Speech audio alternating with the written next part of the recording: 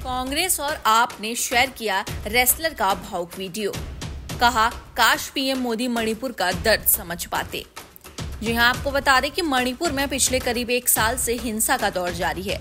इसी बीच social media पर एक वीडियो वायरल हो रहा है। इसे कांग्रेस और आम आदमी पार्टी के एक्स, पहले ट्विटर हैंडल से भी शेयर किया गया है।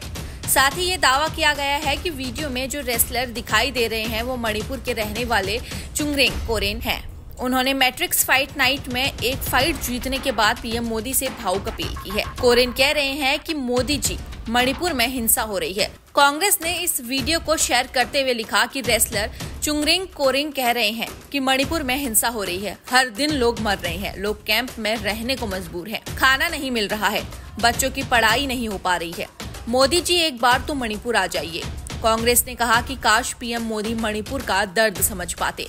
काश वो मणिपुर जाते। कांग्रेस नेता श्रीनिवास ने एक्स पर पोस्ट किया कि काश प्रधानमंत्री के लिए मणिपुर उनके परिवार का हिस्सा होता तो आज शायद मणिपुर का हर नागरिक रोने को मजबूर नहीं होता।